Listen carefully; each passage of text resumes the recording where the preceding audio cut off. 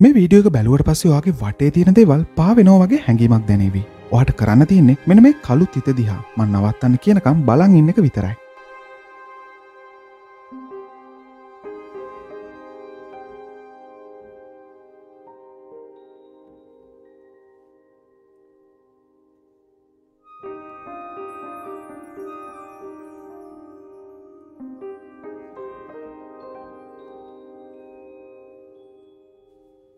හරි දැම් පොඩ වටපිට බලන්නකෝ.